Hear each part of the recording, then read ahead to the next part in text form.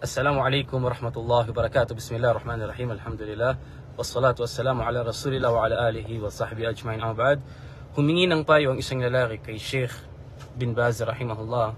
Kaawaan naman siya ni Allah subhanahu wa ta'ala. Ang payo na ito, ya Sheikh, ako po ay isang tao na minamahal ko yung mga pagsunod kay Allah. Gustong gusto ko yung mga paggawa ng kabutihan. Ngunit nanghihina po ako o Sheikh sa harapan ng mga ipinagbabawal sa makatuwid.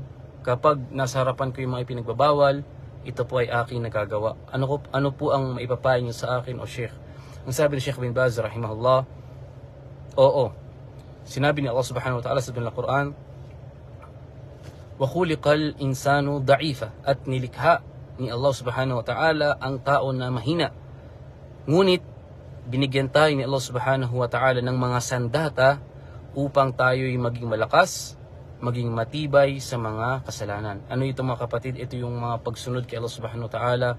Lagi nating alalahanin na mayroong kabilang buhay. Lagi nating alalahanin na tayo ay tatanungin ni Allah subhanahu ta'ala sa mga ginagawa natin. Sa bawat salita nating sinasabi, tatanungin tayo ni Allah. Sa mga bawat kilos natin.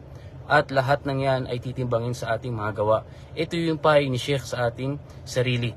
Yung pahay ni Sheikh sa tao na mahina sa harapan ng mga kasalanan at gumawa ng mga pagsamba kay Allah subhanahu wa ta'ala, sumama sa mga mabuting tao, sumama sa mga mabuting kaibigan na magpapalakas at magpapatibay ng ating pananampalataya. Mga kapatid sa Islam, sinabi ni Allah subhanahu wa ta'ala sa banal Quran, Kul ya ibadi alladhina asrafu ala anfusihim, la taqnatu min rahmatillah.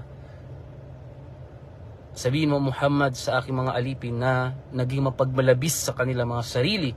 Sila ay nakagawa ng mga kasalanan, nalunod sa paggawa ng mga kasalanan namuhay sa paggawa ng kasalanan, la taqnatu min rahmatillah.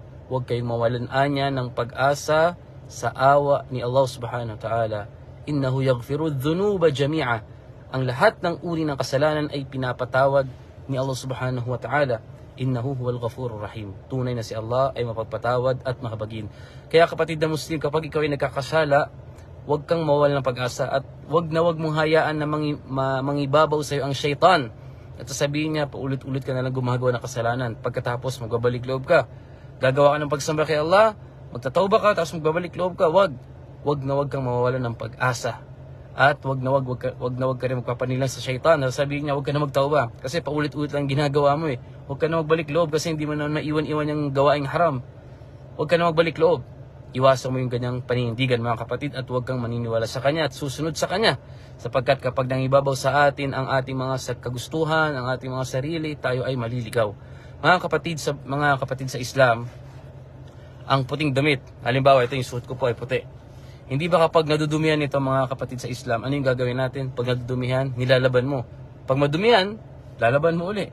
Pag madumihan uli, lalaban mo. Hanggang sa paulit-ulit mong ginagawa yon.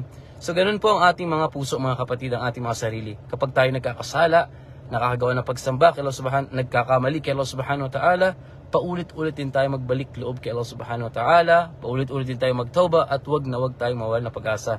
Ngunit lagi nating alalahanin na ang nakakatakot po na sandali, yung tayo ay babawian ng buhay habang gumagawa ng kasalanan at hindi nalulugod sa atin sa Allah subhanahu wa ta'ala. Kaya hilingin natin palagi kay Allah na biyayaan niya tayo ng mabuting pangwakas dito sa mundo at patibayin niya ating mga pananampalataya. O sallallahu sallam ala nabina Muhammad wa ala alihi wa sahbihi ajma'in. Assalamu alaikum warahmatullahi wabarakatuh.